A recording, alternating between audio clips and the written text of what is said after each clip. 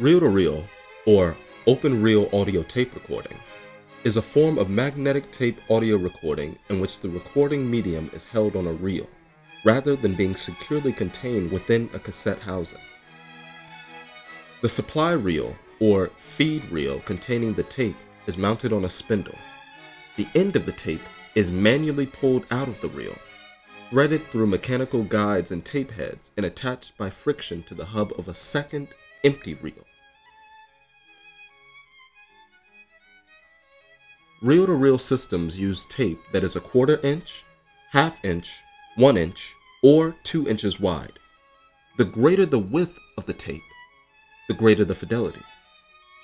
The speed that the tape is moving also affects fidelity.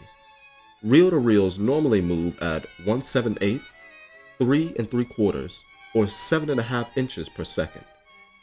This compares to the narrower and slower compact cassette tape which is 0.15 inches wide and moves at 178 inches per second.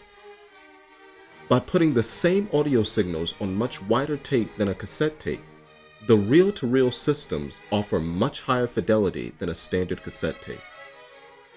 In spite of the larger tapes, less convenient use, and generally higher tape costs, reel to reel systems remained popular in professional and home use applications well into the 1980s.